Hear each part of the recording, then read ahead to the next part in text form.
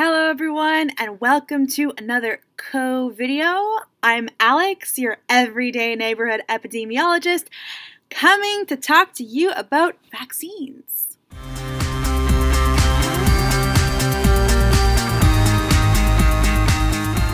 Vaccines are the most surefire way that we can create widespread immunity in a population and if most of the population is immune without them having to die, then we get herd immunity. And we can go on living our lives like normal. We can take off our masks. We could pretend all of this never happened. So, what's going on with these vaccines? You know, we've been in this for almost a year, guys. This has been kind of insane and everyone is just counting down the days for this vaccine to appear. And I'm hearing a lot of word from people who don't want to take the vaccine because they're scared of potential long term effects. So, is this a cause for concern? Yes and no. Depends on what your country's method of enforcement is, of health and safety measures, of ethical research. Political corruption could kind of sink its teeth into this whole deal because there is a lot of money involved in producing an effective vaccine.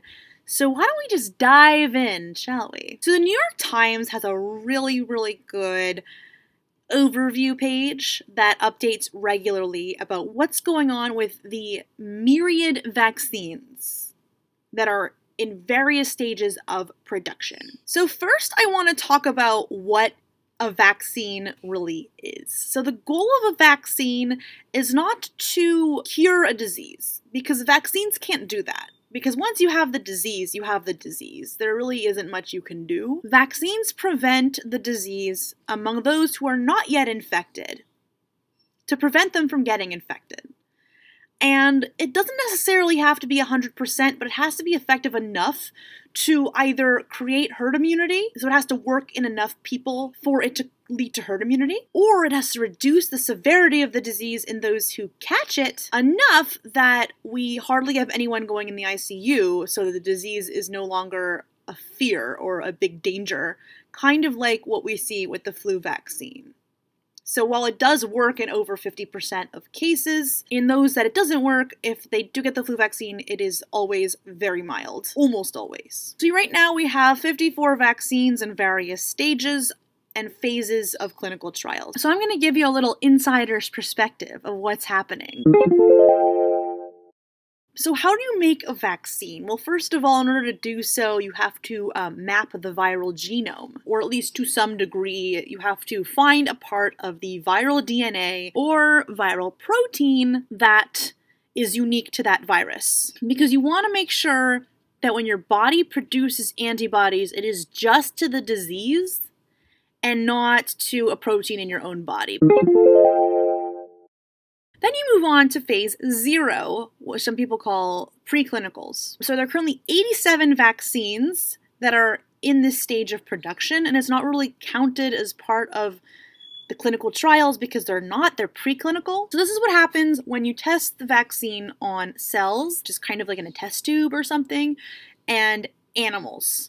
So if animals produce antibodies, then you go to phase one. One eternity later.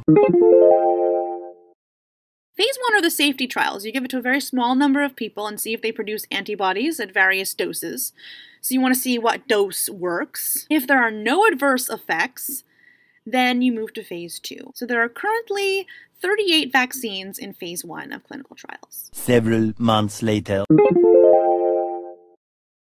Now we move on to phase two. So this is called expanded trials. So with each phase, you just have more and more people being tested. And what you want to get out of phase two, ideally, is hundreds of people split into groups. So you want to see, like, does the vaccine work better on a certain group of people and not in others? Does it work better in men or in women? Elderly versus young people? Does it work in people with pre-existing conditions, etc., etc., etc.? So if it produces an immune response and doesn't have any adverse effects, then you move on to phase three. So currently there are 17 vaccines in phase two right now. Eight semesters later.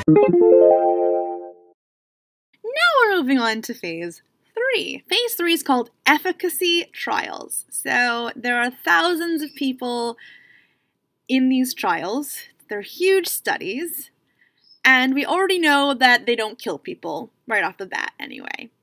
So usually you have a lot of people that are ready to volunteer. You know, I always see these ads on Facebook for, you know, various phases of clinical trials for a vaccine study, and it seems that the amount that they pay the participants goes down with each phase because it's less risky. Efficacy trials, basically what that means is you compare it to the placebo. So what that's called is it's a randomized controlled trial. Control is the placebo, and that means 3,000 people the vaccine and 3,000 people like a saline injection. And then they compare the results. They compare serum antibodies. They also want to see if there are any side effects. Obviously, if there are side effects in the placebo, then you know pretty darn well that it's not because of the vaccine. So basically, what they want to see is, first of all, the sample is now large enough to see the small, rare side effects, and the metric they use to determine if it should be approved or should be considered for approval is if it's over 50% effective. So if more people become immune to COVID than not, then it generally moves to limited approval. So right now, there are 12 vaccines that are phase three clinical trials. Finally, we move on to limited approval. Limited approval means that the government approves it conditionally. So, generally, what happens is we're still monitoring the results of the phase three trials. It's not a good idea to approve it too prematurely because what happens is you want to make sure there are no adverse effects, or at least limited adverse effects, and you want to make sure that it actually works. You also want to make sure that there aren't any long term risks. Russia and China have actually given limited approval to a few but that's kind of risky. So, in the world so far, there are six vaccines that are in the limited approval phase, rolling out the vaccine. We're rolling out the vaccine, we're focusing on the people who are the most at risk. So, how do we streamline this? Because, of course, these phases take years. They take such a long time, and we don't have all that time because we can only stay cooped up in our houses for so long. The economy has taken a nosedive and it probably can't afford to be in this position for much longer. There are a few ways that we can streamline this process during a medical emergency, which right now would definitely qualify because the economy is in a standstill. So we can prematurely approve a vaccine, which a lot of countries have done, due to the severity of the disease. So if we feel that the risk of getting COVID is more than the risk of the long term vaccine effects that we are concerned about, then a government committee can give it limited approval. Up to four years later.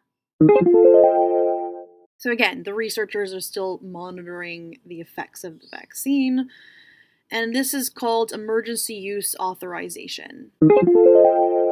So the vaccine is technically still in clinical trials. There's actually a few vaccines that the US government is considering giving this designation. So, another thing that they can do, and this is again being done, it's a horrible situation. They want to get out of it as soon as possible. So, in order to speed it up, they put like phases one and two together or two and three together. So, instead of first trial being just a handful of people to just make sure it doesn't kill people, they would make the first trial be like hundreds of people. And then you just test the stuff that you would test for in phase one and phase two at the same time. The problem with this is that it's a huge risk. Like, could you imagine injecting hundreds of people with a vaccine that's only been tested on animals so far? That's nuts. It's a very common thing combine phases one and two in developing countries where people really need the money and are desperate because of the economic situation in many of these countries. But more commonly, people combine phases two and three because at this point, you know, you know it doesn't really kill people all that much in the preliminary trials. After testing maybe like 20 people, they think, okay, let's test like 2,000 people. Because the 20 people are okay, so how bad could it be, right? As I said, phase three is a good way of pointing out a lot of the rare side effects. So if there is a relatively common side effect that just so happened to be missed or not present in the phase one trial, then you can find out the hard way, and that's not a fun way to find out. But we see quite a few vaccines that are combining phase two and three to streamline things, and that would make sense, really. One eternity later. That's when phase three is over. You have the results, the long term results, whatever, and it's given approval. We know it works, and we got a vaccine. So, what happens when you see issues? When you see adverse effects at any point? So, an adverse effect is basically a side effect, like a bad thing that happens. So, like if somebody gets like a really high fever, the trial gets paused. Another thing that would pause the trial is if it's determined that the vaccine only lasts like a week. You know what I mean? So, you see that, oh, the vaccine seems to be working, and then a week later, it doesn't work anymore or even if it's like just a couple months, they would probably pause it. So that's why we do these long term trials. So if you like this video, please give it a thumbs up, like, and subscribe. Stay safe, stay healthy, and I'll see y'all next